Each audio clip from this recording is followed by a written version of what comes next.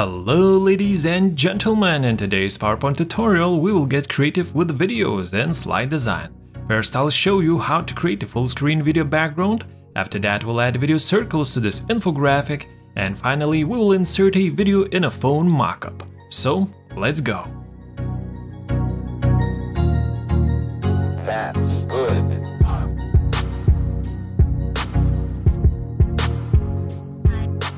Before we get started, I want to say huge thanks to Skillshare for sponsoring today's video and supporting One Skill channel. Skillshare is an online learning community with thousands of inspiring classes for creators. Explore new skills, deepen existing passions, and get lost in creativity. You can learn many new skills such as animation, design, illustration, and many more. I have recently started a class on Skillshare called Animate Your Illustrations with After Effects by Manon Louart. And although I'm a PowerPoint user, I never miss a chance to learn from other creators using other programs, and in this case it's After Effects. Manon has used several awesome techniques to make her illustrations alive, such as bending, looping, easing, and adding expressions. All of this inspires me to create something similar in PowerPoint. So definitely check out this class if you'd like to bring your illustrations to life. By the way, Skillshare is curated specifically for learning, meaning there are no ads and they're always launching new premium classes, so you can stay focused and follow wherever your creativity takes you. The first 1000 of my subscribers to click the link in the video description will get one month free trial of Skillshare, so you can start exploring your creativity today. And now let's continue with the video.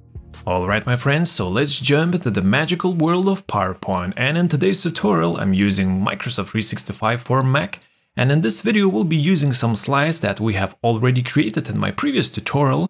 That is Beginner's Guide to Microsoft PowerPoint. And if you don't have those slides you can just jump to my YouTube channel, go to videos and click on this video beginner's guide to Microsoft PowerPoint. And now let's jump to the video description where you will find this link where we can download these beautiful tutorial slides. So let's just click on this link and you will jump to my Patreon page and here you can download these uh, beginner tutorial slides for absolutely free. Alright, so let's open up those slides. Let's maximize the PowerPoint window and I think we can start working with these beautiful slides. Let's just turn off notes, we don't need them. And now let me show you how we can add a full screen video background to slide number 2. So let's just first uh, duplicate slide number 2 so that later on we can compare the results. Alright? So to insert a video, all we have to do is just go to insert and click on this button video. You can choose a video from your computer, but let's uh, explore these stock uh, videos provided by PowerPoint. Alright? And as I can see, we have some tags or categories of different videos. So let's just scroll through these videos. I think a dark kind of video would work well in our slide design. So let's uh, choose this dark category. And now let's pick any video that we like, for example, this one, and click insert. And now we get this blue awesome video background. It looks like as if we're flying through space. That's awesome. But as you can see, it is on top of the rest of the content of the slide, which means we have to send this video to back. So you can use a shortcut, Shift Command B if you're on Mac, or you can just uh, go to video format and click on this button, send to back. So feel free to use any method that's best for you, alright? Now let's select all of the text. You can hit Ctrl A to select everything and let's uh, set the font color to white. By the way, a couple of things are still missing, this website button, the OneSkill logo and this square for the slide number. And that is because these things were set in the slide master. So let's jump to slide master, let's scroll to the top. Let me select the logo, this button and this square for the slide number. Let's copy these guys, let's get back to normal view. And now let's paste these guys on top of this video. Alright, now let's make sure we select the video, select this uh, colorful square and let's send these guys to back so that the slide number is on top. Alright, and now all of the elements are present on both of these slides.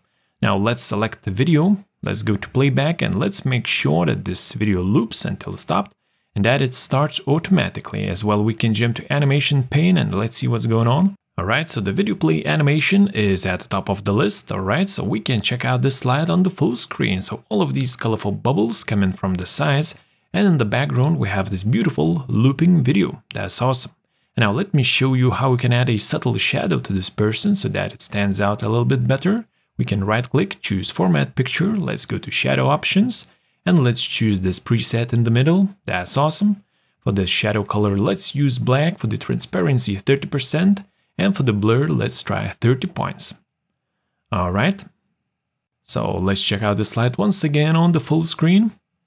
And as you can see, our person has a subtle shadow and he stands out a little bit better in this awesome video background. And this was our previous slide, just plain and white background. And this is our second version with the video background, so choose whichever design you like better. And now let me show you how we can add videos to these infographic circles. So these four slides are pretty much identical and the only difference is the position of this purple color overlay. So as you can see in different slides, this purple overlay is in different position. And this color overlay is just a simple circle with a little bit of transparency and instead of this guy, we will use a video. So let's just select all of these four slides and let's duplicate them so that we can experiment with some videos. Now let's jump to slide number 8 and let's make sure that we ungroup these circles and these text boxes so that we can access all of the individual parts and this is our semi-transparent circle.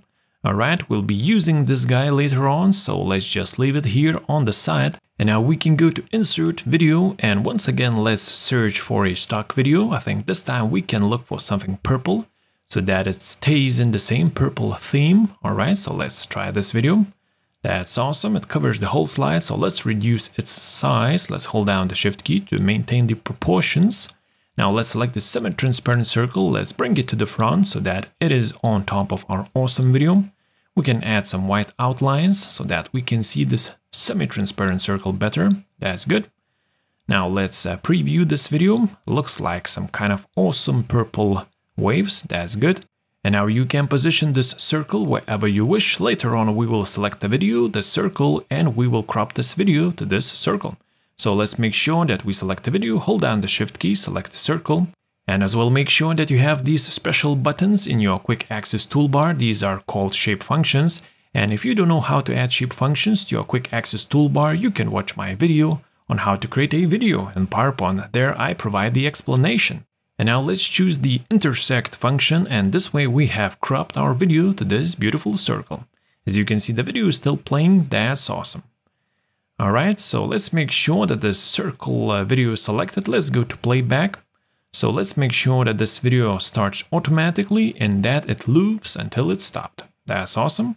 And now we'll have to put this uh, circle video just below this light bulb and this smaller uh, circle. So let's make sure we select the light bulb, this smaller circle.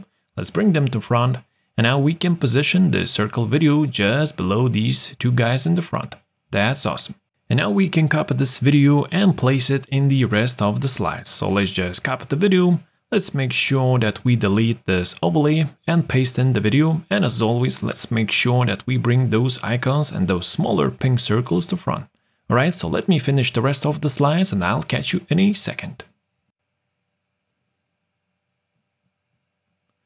Alright, so all of the slides are ready and we can jump to the first slide. And let's actually jump to the animation pane and let's see what's going on. As you can see, we have the video animation and we have some entrance animations. So I think we can delete these entrance animations for now. And let's make sure that this video starts playing automatically. So with previous, that's good. And let's make sure that we have the same animation in the rest of the slides. So let's make sure that this animation starts with previous as well.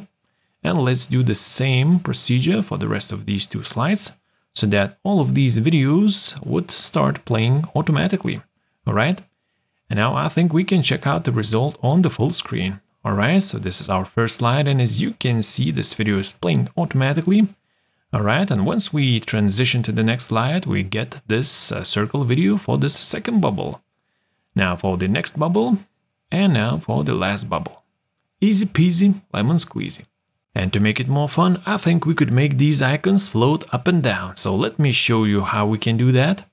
Let's go to slide number 8 and let's select this bulb icon. Alright. Let's go to path animations or motion paths and let's choose this line animation. Let's make sure direction is up. Okay. Now let's select this red bubble. This is basically the distance, how far this bubble will go up. So let's make it a really short distance.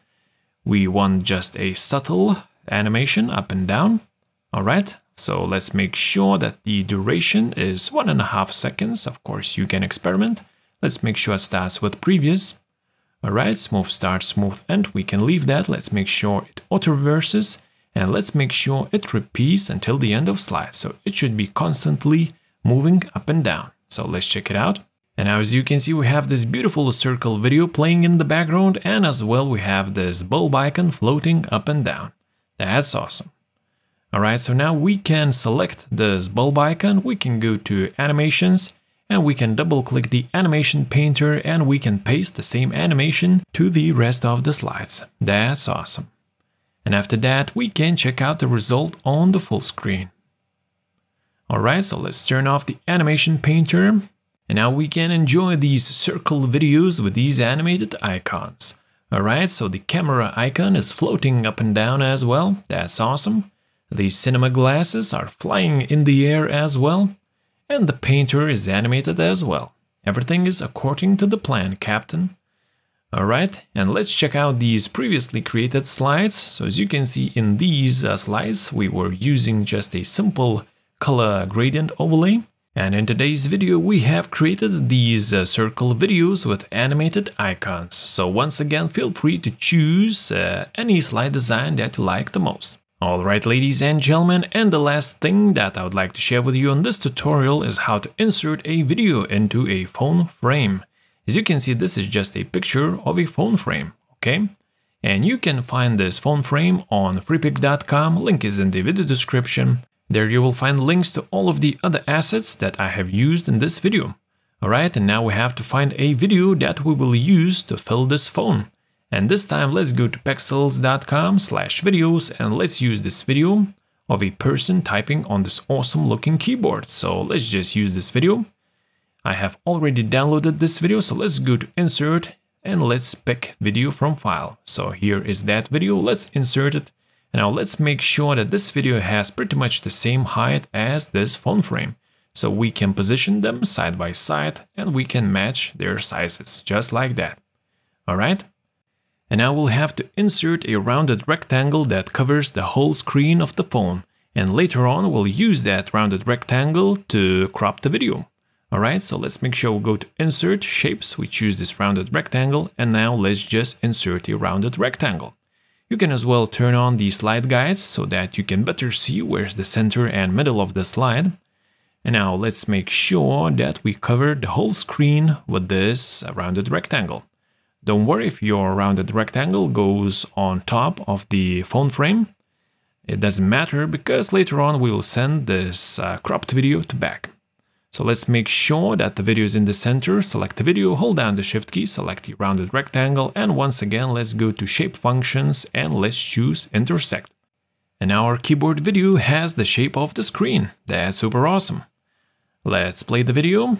So everything is working fine, that's good.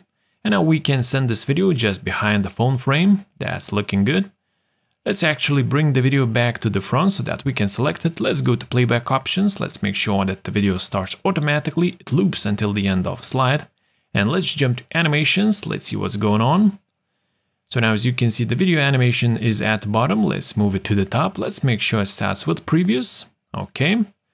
And by the way, as you can see, the video animation is called a picture, so we can go to selection pane and we can always rename our objects. So as you can see, it's named picture. Let's name it video. And now in the animation pane, as you can see, this animation is called video. So that's super awesome. Let's uh, send this uh, keyboard video to back so that we can see the phone frame and now we can enjoy the final result on the full screen. Congratulations ladies and gentlemen, now you know how you can get creative with the videos in PowerPoint.